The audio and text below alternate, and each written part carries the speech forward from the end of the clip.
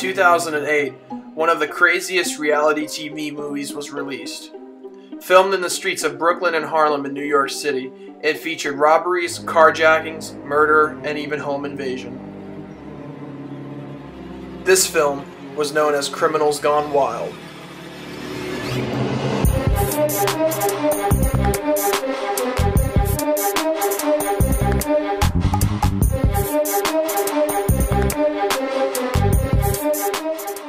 10 years later, the film is still popular on the internet, and the controversy surrounding it remains. But the biggest question people still have is it real? Let's find out. Criminals Gone Wild was shot over 10 years ago on a handheld mini DV camera at only 30 frames per second, so please excuse the low quality picture and audio you're going to see.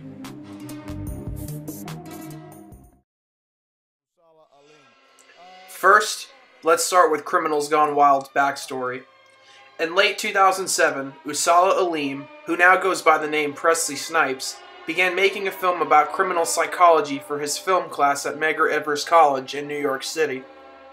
According to him, when he was interviewing the criminals, they began to commit crimes for the camera. Ousala released an unfinished version of Criminals Gone Wild locally in New York City in late 2007 before releasing the final project on a DVD nationally on April 22, 2008.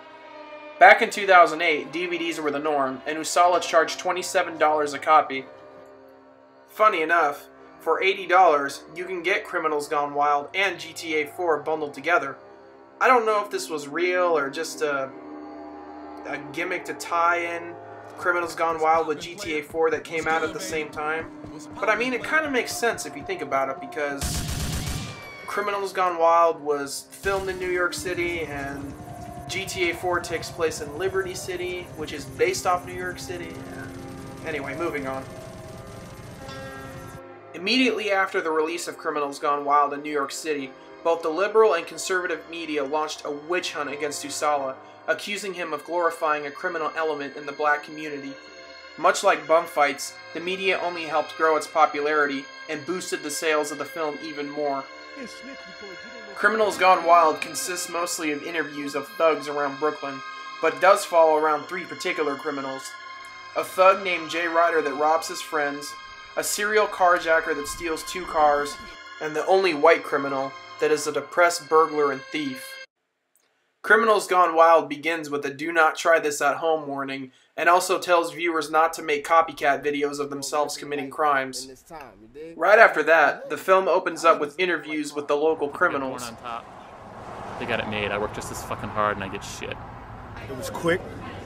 I felt it was best. I don't consider should I do a crime, man. It's just life. Shit I gotta do. The first crime caught on camera shows a criminal thug rob an unsuspected victim in the streets of Brooklyn.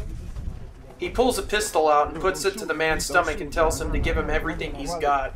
The man, visibly startled, complies with his orders. Don't shoot me, please. Don't shoot me. I got money in my wallet, dog. After that, it's a part that I actually found funny. The thugs and criminals are asked what they think of the police, and just listen to their responses. What should I think of them? Fuck them. Yo, man, fuck the cops, man. Fuck them crackers ass police, them pig ass motherfucker, they dirty, man. Fuck the police. Fuck them. Fuck the law. We raw. Fuck them.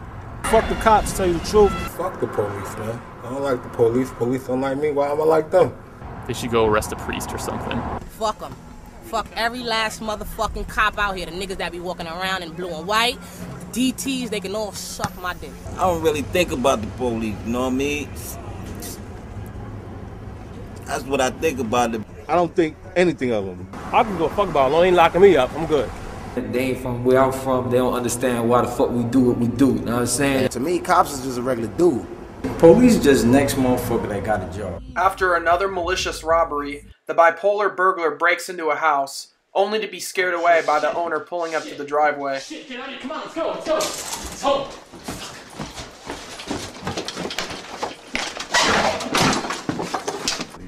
Then, a man armed with a handgun casually walks up to two people and robs them for their cars. In both instances, Ousala Aleem, who's filming the incident, gets in the front seat and drives away with the carjacker. I cannot drive a seven. So I got me a seven now, man. fucking nigga, man. Fucking cracking man. Come on, man. Move. Afterwards is the most disturbing part of the film. A shooting, if not murder, is caught on tape when a basketball game between two thugs goes sour. You could see in the video, they begin to argue with each other after the one with the dreads begins playing dirty. The one with the hat gets annoyed and decides he isn't going to check, so he throws the ball back at him. man. Yeah. Come on, D up, nigga. Fuck out of here. Tough up. Tough up. Tough up.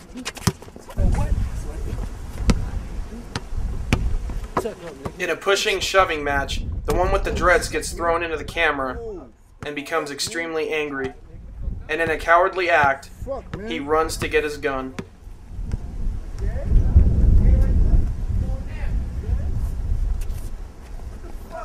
Oh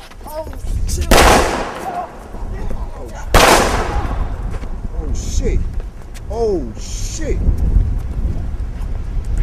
We then cut to J Ryder as he visits his DJ friend who's in the process of making a rap album.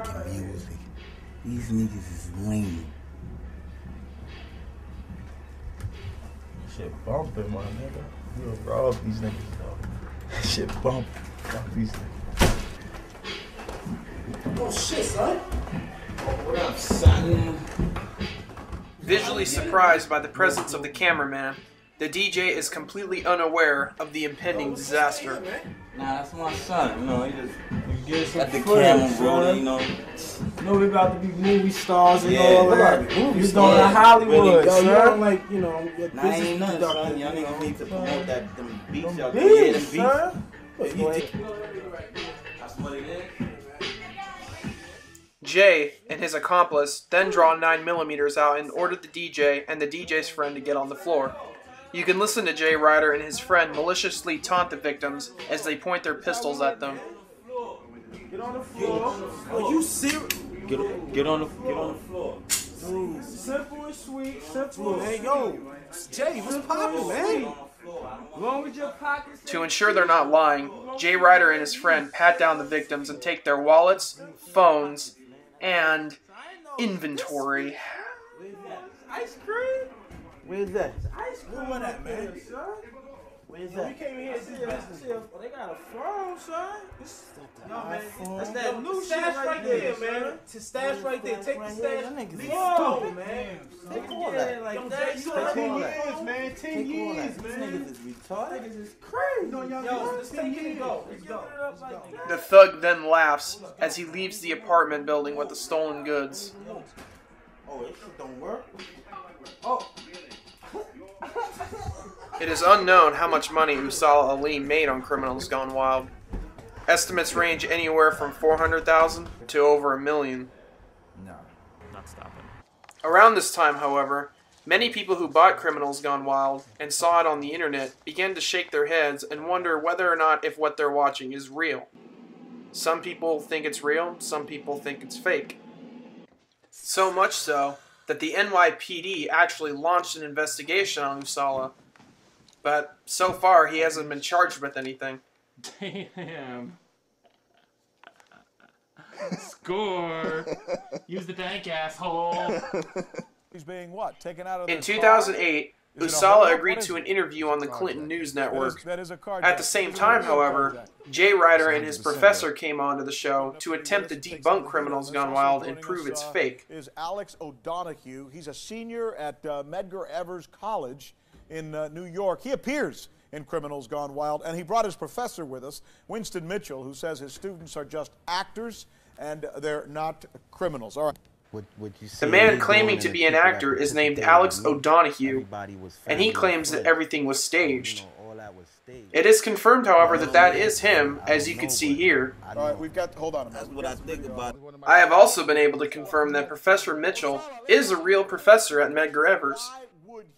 He knows all these. However, Ousala claims that he has a tape that proves that the man named Alex O'Donoghue is in fact a criminal named Jay Ryder. that's neither here nor there. But I'm let me tell you something. I have this tape right here, and this will prove to what everything. This will make this will totally smash your credibility. All right, what is it? because this is this is a tape proving what I'm saying. I didn't release this because I was I was in fear of my life. I'm not even gonna I was in fear of my life. But if I release this tape to the public, this will prove that he is who he's who he is Jay All right, Ryder. you know, I have. I was. Go ahead, the, Professor. I was in the car. I was in the car with Alec, and that producer called him. Alec put it on the, on the speakerphone. I heard him saying, "Yo, just chill out for about a couple more months so I can make money. Can't you go said into that? hiding?" Yes, you did. So Ousala, if that. you still have that tape that you held in your hand in this interview, criminal is the we'd like to see it. because He's portraying more black on because ten years from now, when Alex goes looks for a job, someone will Google this, see him as a criminal, and he won't be able to get a job. He'll s- ten years and say, "What happened to my life? Why? Because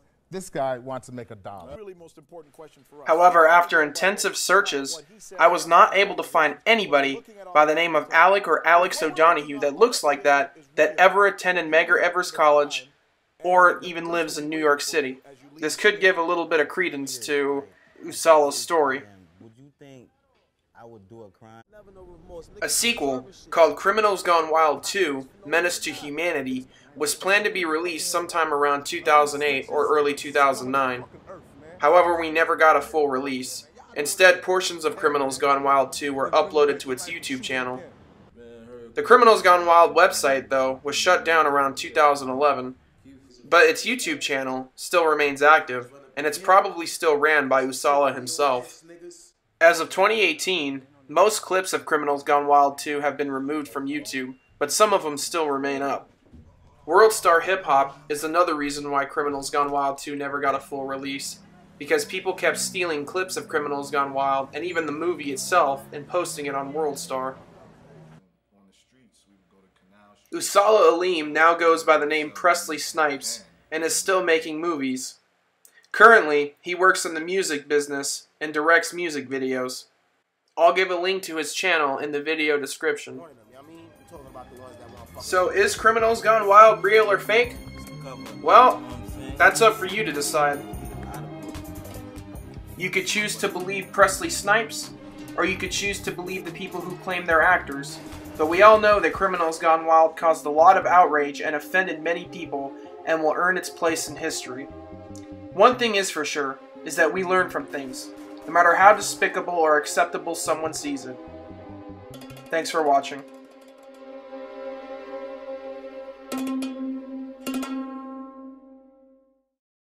Yes, I would be willing to swear on the Bible that this is 100% real. And I would like to say, God bless America and God bless criminals going wild.